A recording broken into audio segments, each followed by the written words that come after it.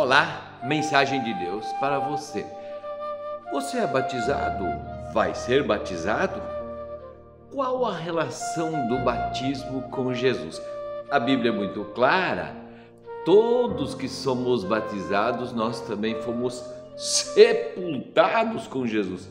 E assim como Jesus ressuscitou, nós andemos em novidade de vida.